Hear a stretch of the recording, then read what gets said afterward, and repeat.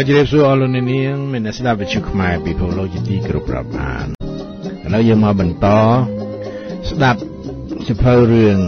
សុបិននឹងការពិតភាគទី2របស់លោកវ៉ាន់ឌីកាអុនដែលកាលពីថ្ងៃមុនខ្ញុំអានដល់ត្រង់នេះបាទទោះបីលោកហ៊ុនសែនមានតួនាទីជាអនុប្រធាននៃបកប្រជាជននេះក្តីក៏តាមការពិតបកនេះមានតែឈ្មោះប៉ុណ្ណោះព្រោះលោកហ៊ុនសែនជាមនុស្សខ្លាំងតែម្នាក់គាត់នៅក្នុងបកនេះ លោកជាស៊ីមដែលបានត្រូវតែងតាំងជាប្រធានបកជំនួសលោកហេងសំរិនក៏គ្មានទូនាទីសំខាន់អ្វីដែរព្រោះលោកហ៊ុនសែនបានបង្កើតរចនាសម្ព័ន្ធមួយទៀតគ្របដណ្ដប់ពីលើបាត់ទៅហើយនៅក្នុងបរិបទនៃការជាគ្នា រវាងទីក្រុងប៉េកាំងនិងទីក្រុងហាណូយនេះលោកហ៊ុនសែនមានភារកិច្ចចាប់ដៃសម្ដេចនរោត្តមសីហនុជាចាំបាច់ដើម្បីរាំងស្កាត់កុំឲ្យអ្នកប្រជាធិបតេយ្យដែលមាននិន្នាការនិយមបច្ចឹមលោក អាចវិលមកកាន់អំណាចបានវិញហើយតទៅទៀតនេះគឺជាវគ្គបន្តក្រោមចំណងជើងថាឆ្ពោះទៅរកការបញ្ចប់អធិករខ្មែរដោយរក្សាទុកនៅមេគានយោបាយក្រៅប្រទេសមុនពេលសង្គ្រាម Vers la fin du conflit cambodgien et le retour à la politique extérieure des années 60 មួយសប្តាហ៍ក្រោយអង្គប្រជុំនៃក្រុមប្រឹក្សាជាតិចិនខ្ពស់នៅផាតាយានាថ្ងៃ26ដល់29សីហាឆ្នាំ1991ប្រទេសចិនបានបញ្ជាក់ថា គេឈប់ផ្ដល់ជំនួយយោធាទៅឲ្យខ្មែរក្រហមទៀតហើយប៉ុន្តែរក្សាទុកការផ្ដល់ជំនួយសេដ្ឋកិច្ចដដែលកាសែតអាមេរិក Washington Post បានកត់សម្គាល់ថា ខ្មែរក្រហមនៅប៉ៃលិនលក់ត្បូងបាន300លានដុល្លារគ្រាន់តែក្នុងរយៈពេល2ឆ្នាំកន្លងមកនៅថ្ងៃ10កញ្ញារដ្ឋមន្ត្រីការបរទេសវៀតណាម និងរដ្ឋមន្ត្រីការបរទេសចិន បានជួបគ្នានៅទីក្រុងប៉េកាំងដើម្បីនិយាយឲ្យបានច្បាស់ម្ដងទៀតអំពីការដាក់ទំនាក់ទំនងគ្នាជាប្រក្រតីឡើងវិញ រវាងប្រទេសកុម្មុយនីសទាំងពីរហើយសុខចិត្តទទួលយកផែនការសន្តិភាពនៅកម្ពុជា នៅពេលនោះប្រទេសកម្ពុជាបានទទួលរងគ្រោះដោយទឹកជំនន់មួយដ៏ធំសម្បើមអស្ចារ្យជាហេតុបណ្ដាលឲ្យមនុស្ស110នាក់បាត់បង់ជីវិត ហើយ70ម៉ឺននាក់គ្មានជំរករីឯដំណាំស្រូវខូចខាតអស់ប្រមាណ14ម៉ឺនហិកតា នៅពេលបើកអង្គប្រជុំមហាសន្និបាតអង្គការសហប្រជាជាតិនៅទីក្រុងញូវយ៉កនៅថ្ងៃ16កញ្ញាសម្ដេចនរោត្តមសីហនុទ្រង់បានជួបសន្ទនាជាមួយនឹងលោកហ៊ុនសែន អាសនៈកម្ពុជានៅអង្គការសហប្រជាជាតិបានត្រូវប្រគល់ទៅឲ្យក្រុមប្រឹក្សាជាតិចិនខ្ពស់ហើយរបៀបបោះឆ្នោតដែលធ្វើឲ្យមានការខ្វែងគំនិតគ្នានៅអង្គប្រជុំនៅផាតាយាបានត្រូវគូភាគីខ្មែរសុកចិត្តស្រស់ស្រួលគ្នាគឺការបោះឆ្នោតសមាមាត្រនៅតាមខេត្តនីមួយនីមួយនៅទីក្រុងញូវយ៉កនោះដែរសម្ដេចនរោត្តមសីហនុបានជួបសន្ទនាជាមួយនឹងលោកប្រធានាធិបតីអាមេរិក George Bush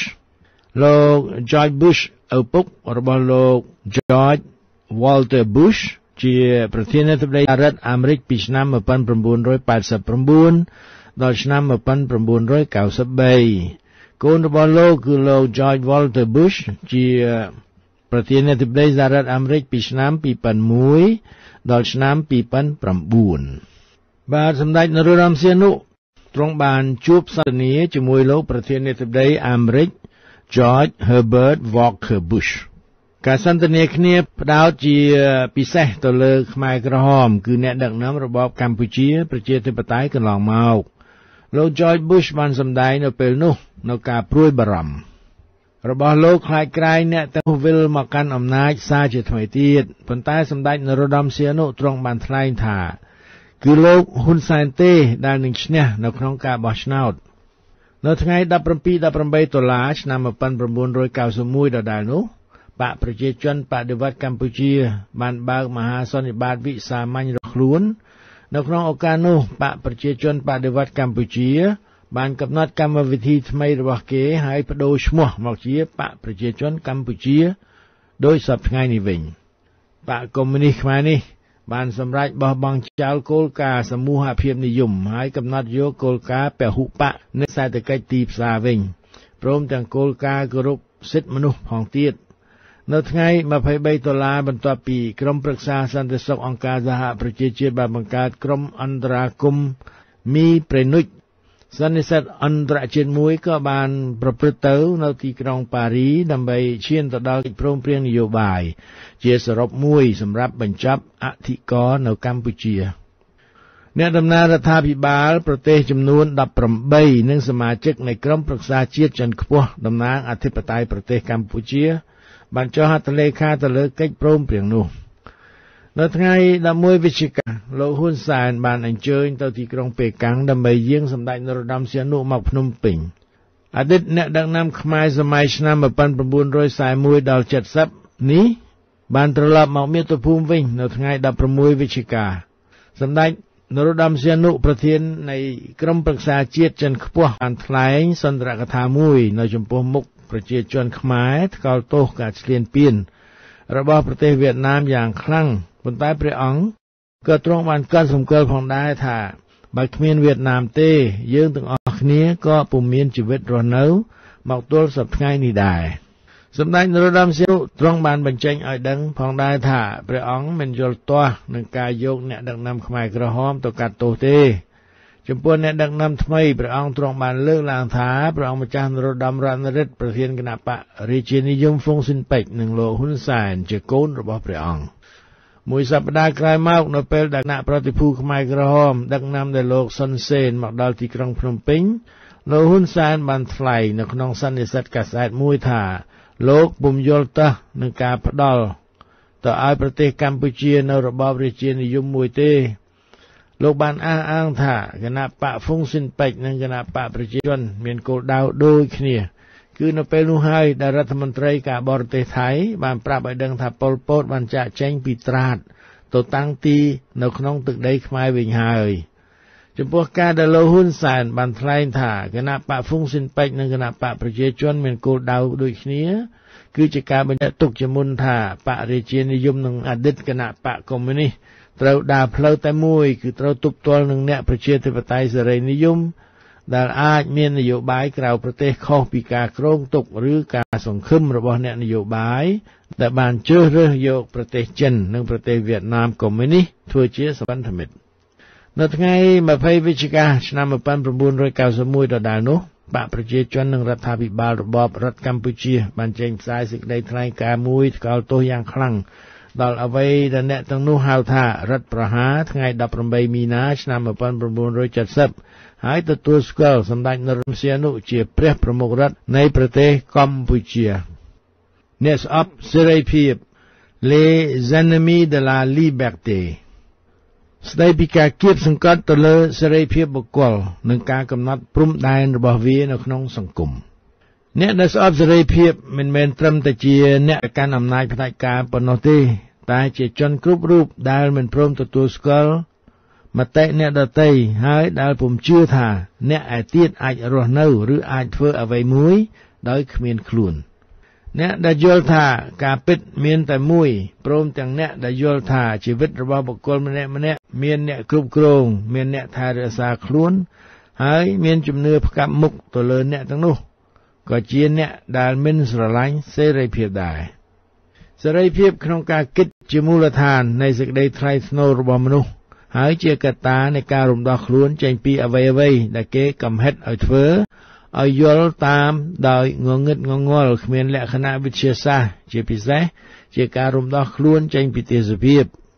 អ្នកដែលស្រឡាញ់សេរីភាពពិតប្រាកដគឺជាអ្នកដែលហ៊ានធ្វើអ្វីមួយ តែហ៊ានទទួលខុសត្រូវនៃអំពើរបស់ខ្លួនអ្នកនិពន្ធអ៊ីតាលីម្នាក់ឈ្មោះ Alberto Moravia ឆ្នាំ1907ដល់1990បានបញ្យល់តាមរយៈប្រឡោមលោក La Noia L'ennui ដូច្នេះថា ជាការផាន់ច្រឡំមួយដ៏ធំកាលបើគេយល់ថាគេអាចក្តាប់មនុស្សម្នាក់ឬរបស់អ្វីមួយបានរហូតនោះគេមិនអាចបង្រួមសេរីភាពមកត្រឹមការមានលុយកាក់សម្រាប់ស៊ីចាយប៉ុណ្ណោះទេព្រោះអ្នកណាក៏មានសិទ្ធិប្រណាំងប្រជែងគ្រប់បែបយ៉ាងដែរ សាមគ្គីភាពជាកម្លាំងរួមសម្រាប់ទប់ទល់នឹងស្ថានភាពដែលនាំមកនូវគ្រោះថ្នាក់ចំពោះសង្គមឬមនុស្សជាតិទាំងមូលប៉ុន្តែមិនអាចយកទៅបម្រើប្រយោជន៍របស់មនុស្សមួយក្រុមតូចបានឡើយដូច្នេះគេត្រូវពិនិត្យអ្វីដែលគេហៅថាគ្រោះថ្នាក់នោះឲ្យបានត្រឹមត្រូវសិនមុននឹងចូលរួមគ្នា ធ្វើអ្វីមួយព្រោះថាអ្នកនយោបាយខ្លះបង្កើតឲ្យមានគ្រោះថ្នាក់អ្វីមួយដើម្បីអាចឆ្លៀតយកឱកាសសម្រាប់ខ្លួននិងបពពួកខ្លួន តាមរយៈសាមគ្គីភាពមួយ ដែលគេចង់បានដើម្បីធ្វើអ្វីមួយសម្រាប់គេសេរីភាពពិតប្រាកដគឺការស្វែងរកការពិតឲ្យបានច្រើនបំផុតជាពិសេសការយល់ដឹងអំពីពិភពលោក អំពីចក្រវាលតាមការចេះដឹងវិទ្យាសាស្ត្រតែចក្រវាលជាអ្វីទៅ នៅក្នុងសៀវភៅមួយរបស់ Brian Green មានចំណងជើងថា The Elegant Universe ឆ្នាំ1999 L'univers élégant de Brian Green édition Robert Laffont 2000 Poche 2005 គេដឹងយ៉ាងច្បាស់ថាបើទ្រឹស្ដីយន្តកម្មកង់ទិក dynamique quantique និងទ្រឹស្ដី théorie de la relativité générale របស់ Albert Einstein ចូលគ្នាបាន គេនឹងអាចរកដើមកំណើតនៃចក្រវាលឃើញយ៉ាងច្បាស់ បច្ចុប្បន្ននេះតាមរយៈទ្រឹស្ដី theory សេចក្តី Cox គេមានសង្ឃឹមថាសេចក្តីប៉ងប្រាថ្នារបស់ Einstein នឹងបានសម្រេចនៅឆ្នាំ1543សតវត្សទី16អ្នកប្រាជ្ញវិទ្យាសាស្ត្រប៉ូឡូញឬអាល្លឺម៉ង់ក៏អាចថាបានឈ្មោះកូប៉ែនិកឆ្នាំ1473ដល់1543បានរកឃើញថាផែនដីវិលជំវិញខ្លួនឯងនិងជំវិញព្រះអាទិត្យ ពាក្យសេរីភាពមានន័យដ៏ទូលំទូលាយរីឯការកំណត់វិសាលភាព និងព្រំដែននៃសកម្មភាពរបស់មនុស្សនៅក្នុងសង្គមជាបញ្ហាមួយដ៏ស្មុគស្មាញយោងទៅតាមនៃទស្សនវិជ្ជាសេរីភាពរបស់មនុស្សម្នាក់ម្នាក់គឺការគោរពឆន្ទៈផ្ទាល់របស់គេ ហើយមិនបណ្ដោយឲ្យសង្គមឬអ្នកណាម្នាក់ទៀតតាមគៀបសង្កត់បាន ឬក៏យកទៅប្រើដើម្បីប្រយោជន៍ផ្ទាល់របស់បុគ្គលណាម្នាក់ឬក្រុមមនុស្សណាមួយ បញ្ញត្តិពីអ្នកជានិងទេសកលរដ្ឋមានភារកិច្ចការពារសិទ្ធិរបស់បុគ្គលដែលមានកំណត់នៅក្នុងកិច្ចសន្យាសង្គម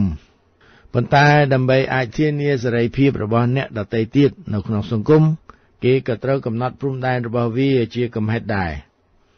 គឺសេរីភាពរបស់បុគ្គលម្នាក់មិនទៅប៉ះពាល់ដល់សេរីភាពរបស់អ្នកដទៃឡើយបើតាមន័យមួយទៀតសេរីភាពរបស់បុគ្គលគឺការចេះដឹងអំពីក្រិតក្រមជីវិត ក្រិតក្រមសង្គមហើយមិនបណ្ដោយឲ្យតណ្ហា ឬមហិច្ឆតាញ៉ាំញីបានដោយឈរនៅលើមូលដ្ឋានវិចារណញ្ញាណនិងសច្ចធម៌បើតាមទស្សនវិជ្ជាជីវិតនិយម existentialism មនុស្សមានសេរីភាពតែងតែរក្សាឧត្តមកតេថ្លៃថ្នូររបស់គេប៉ុន្តែក៏ត្រូវទទួលខុសត្រូវអំពីអំពើរបស់ខ្លួនដែរ L'homme est condamné à être libre នៅក្នុងវិស័យនយោបាយសេរីភាពគឺសេរីភាពនៅក្នុងការបញ្ចេញមតិនិងការគោរពមតិអ្នកដទៃរដ្ឋមានភារកិច្ចការពារសេរីភាពនេះជាកំហិតនៅក្នុងករណីដែលសេរីភាពនោះ មានលក្ខណៈស្របច្បាប់ គឺរដ្ឋធម្មនុញ្ញបើពុនោះសោទេ គឺជាអំណាចផ្ដាច់ការដែលអាចប្រកែកបាន ការបំបត្តិសិទ្ធិបញ្ចេញមតិនៅក្នុងរដ្ឋកុម្មុយនីសនិងរដ្ឋយោធានិយម ព្រមទាំងរដ្ឋដែលនគរបាល ការពារតែសិទ្ធិរបស់រដ្ឋាភិបាលដោយខុសច្បាប់